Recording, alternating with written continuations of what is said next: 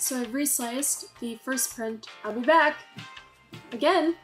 Welcome to this video. It's going to be a slightly different, more like vlog style, because today is the first day of school for my second semester of my master's degree. I have one of my new courses today, and I thought I would start the video by making coffee. I'm a normal uh, black coffee drinker, but recently I've been whisking almond milk and adding maple syrup to it, and it tastes kind of like a latte. I, I just pour in some almond milk, add that, and then secret ingredient, maple syrup. And then I just whisk. If you had a frother, this would be a lot easier. But I didn't want to spend $10 on a frother when I had a, a whisk at home. So this is my arm workout for the day.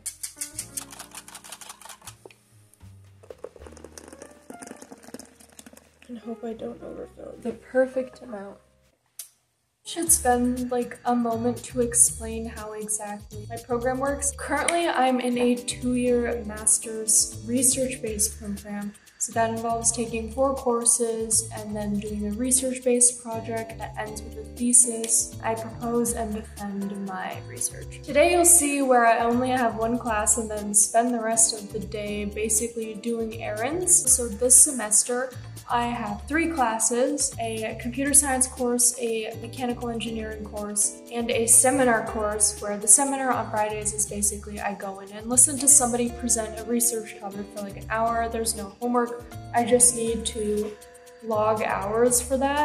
So, I should clarify that the seminar course is not like the other topic courses where I have assignments, midterm, final, and I'm learning engineering theory. Basically, I'm in that class to log hours, and I need a total of 36 hours as a requirement for my degree. So, compared to undergrad, you're taking fewer courses, and your schedule is a lot more open for other things to where a lot of my time should be dedicated to my research project You'll see me in the lab a lot today in this video, and part of that is to get into more of a routine of coming to campus and being more productive in this room, but also I am the lab manager, so when things go wrong, I kind of have the responsibility to fix it, where in this case, I have the responsibility to get this printer up and running. So I've been working with IT to get it connected to the internet and then running calibration prints as instructed by the technician. Today I also fixed the lab drain situation with the eyewash station. Not every day is this busy. Today was kind of hectic. I live some distance away from the university, so I like to compound all my tasks to when I'm going to be on campus for a course. This is a realistic like first day of school. I would say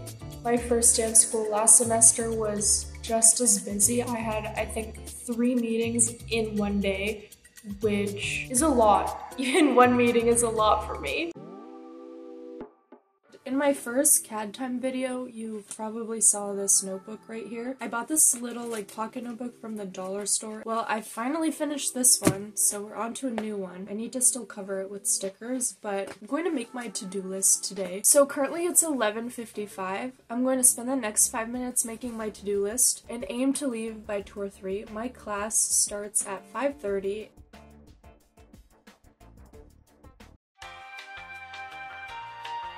did have a print going in here overnight. So this is a PETG print. Um, my two previous prototypes are these, which they do kind of look like turtle shells.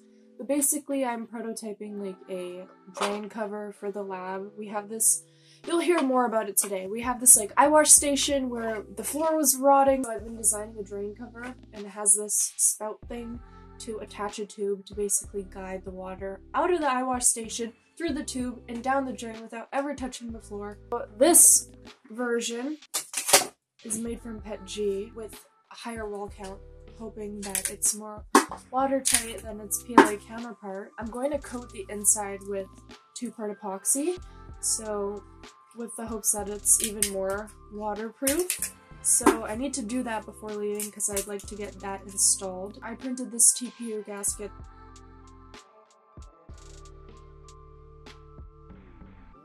that's supposed to go underneath to interface between the drain and the floor because this drain and my dad gave me a good example to show you. This drain has three holes that go into the floor, and so I'm leveraging these three mounting points to attach the drain cover, and so I will have a gasket in between to keep it watertight. Yeah, I hope it works.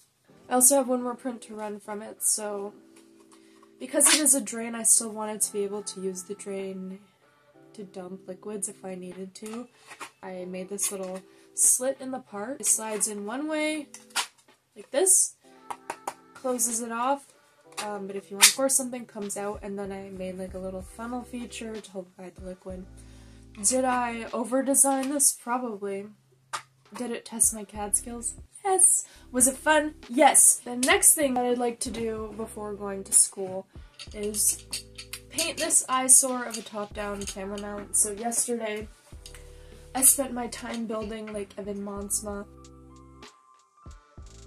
and use some scrap wood to basically build myself like a top-down rig for my video camera. Doesn't have a lens on it currently. I think I want to paint this black and then add like some fun graffiti art on here in a white paint marker so that it matches this monitor arm that I have for it. For bed I had written a to-do list on my hand. We've got wingnut, lab list, and bits. Okay, I need to get a fourth wingnut for this camera mount on my way to school from Home Depot because yesterday I bought four and I made the mistake of not checking all four and it turns out somebody had put a larger wingnut in the same spot so of course it doesn't fit and now I need to go and buy one for another 41 cents.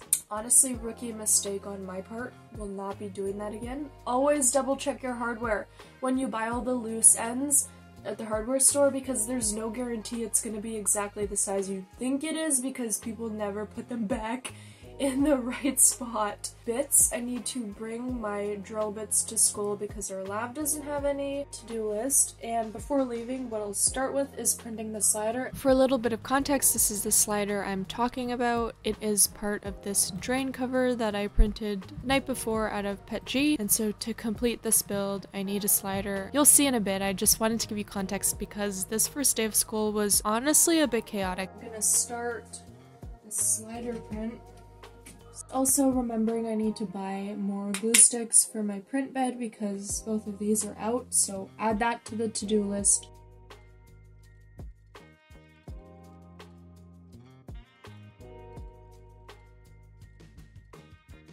I normally have like a few sticks, but my few have run out. It's about 16 minutes. I think the next thing I'm going to do is remove supports on this drain and coat it with epoxy outside. I'm gonna need to make a quick modification to this. It's too wide. I'm going to narrow it just a little bit in the slicer and reprint. For anyone who's printed in PETG, you know how much of a nightmare support removal is, especially after the part has cooled. And so removing support out of these really tiny slots was kind of a pain and it's still a little bit rough, but I think by accounting for that by slightly narrowing the actual slider, we'll be okay.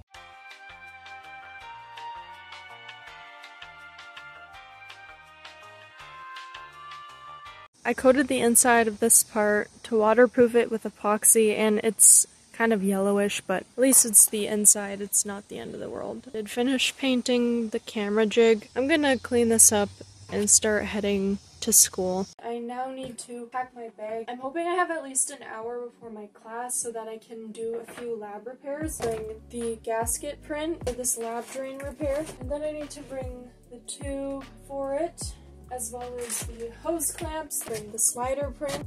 Then I'm going to bring my screwdriver. I also need to bring my bits because for some reason the lab doesn't have any.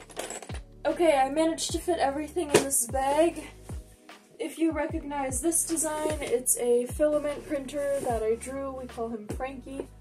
I made a tote bag out of it. I am currently in the process of figuring out like a Redbubble account to make stickers like this and some of my other characters available, so stay tuned for that. Hopefully by the end of the year. I do have class at 5.30. We're gonna get out of here because it turns out I also need to head to the bank for a school form last minute that just popped up in my email.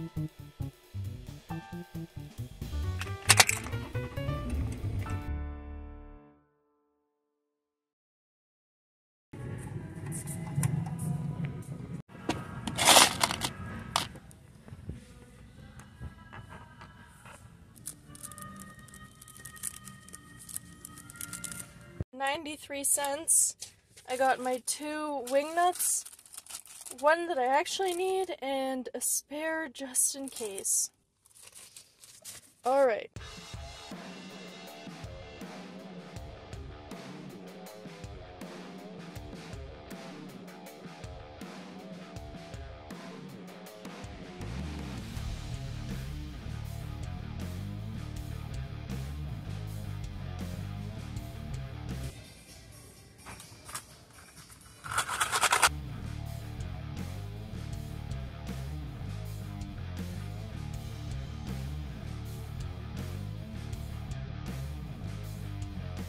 So for us, school starts on a Thursday, and today I only have one course. Being in a master's program, I only need to take four courses for my degree. I took two last semester, the additive manufacturing course and the CAD course, and this semester I'm taking optimization and a computer science like statistical machine learning course. Today I had my optimization course from 5.30 to 8.20, but we finished early. So I'm back in the lab running a laser calibration on the Smart Forge, and I did end up going to Canadian Tire nearby to get longer bolts to install this drain cover and the gasket.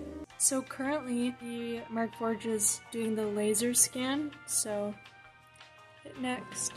You can see the laser moving along, so let's see. Your level is telling me what I need to do. Loosen the back screw very slightly and release it. So this is the back screw. There are three points of level on this bed, as you can see, left, right, and back. And I was just adjusting this screw based on this leveling, the laser levelings. Now is the manual adjustment with these shims. The Markforged system has two nozzles. The one in the back is the filament nozzle and then the one near the front is the fiber nozzle. So there's a shim for each. Just like the paper test for your like Ender 3 or any other manual bed leveling you do, I have this shim and I'm fitting it under the nozzle and basically moving the bed up or down until I feel resistance. So I don't feel any resistance, move bed up twice. Okay, I feel a slight resistance. Still see a gap. Nudge up one more time. So when you're using the shims, you don't want to touch these at all. I feel like that's good. Go next. So for the fiber nozzle, it's slightly different. Adjust the exposed 2.5 Allen head screw on the top of the print head assembly to adjust the height of the fiber nozzle until you can feel slight resistance when sliding the shim. I already feel slight resistance, so I think it's just fine. I'm going to leave it. Now there's a fiber nozzle height calibration utility that you need to run. Hit run.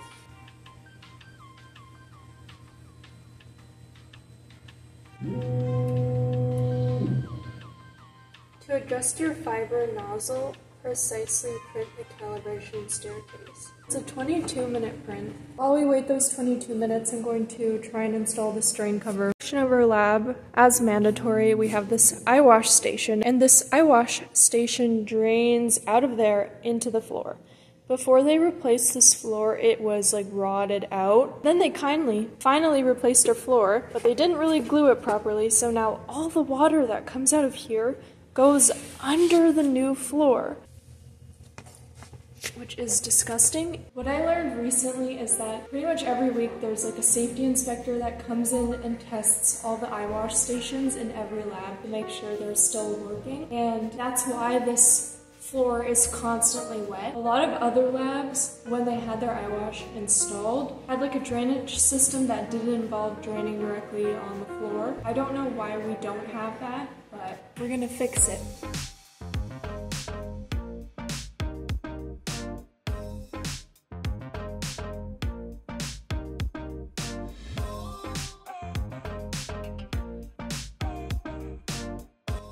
Cover. We got one, two, three, and the TPU gasket underneath to give a nice secure hold and hopefully watertight seal. We have this slider. There we go. Alright, so the next step is to basically cut this tube to size. I am realizing now I could have made this slightly bigger because it's a little bit big on the inside of the tube and I'm afraid it may leak, but we'll find out. Turns out in the lab we have silicone tape and electrical tape. What I might end up doing is just wrapping some tape around here to make it slightly thicker so it's a bit of a snugger fit into here. Let's try it. On this end, now, to figure out how long to make it here, I wrapped it with some electrical tape. I will probably need to add more, but to figure out how long to cut this to, I'm just gonna put this back on temporarily. I'm gonna cut it a little bit longer, maybe like right here.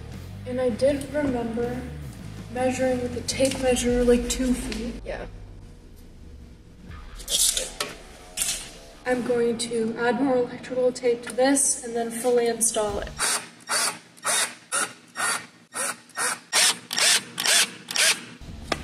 That looks good.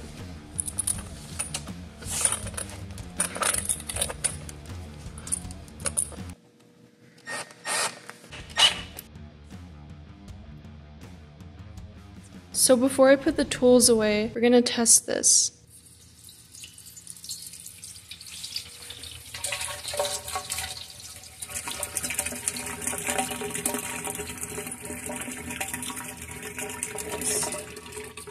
Nice.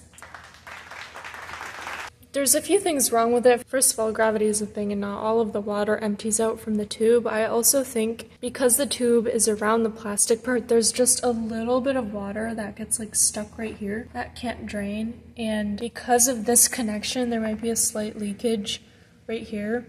But at least that's in the location of the drain. I'm not that concerned. It's already way better than what's was happening before where all the water would go under this like piece of floor. Actually turned out pretty good considering the limitations and in the coming weeks I'll be checking up on it to see if it's leaking, where it's breaking, things like that. But for a quick fix, it's really not so bad. I mean, it's already better than draining directly on the floor.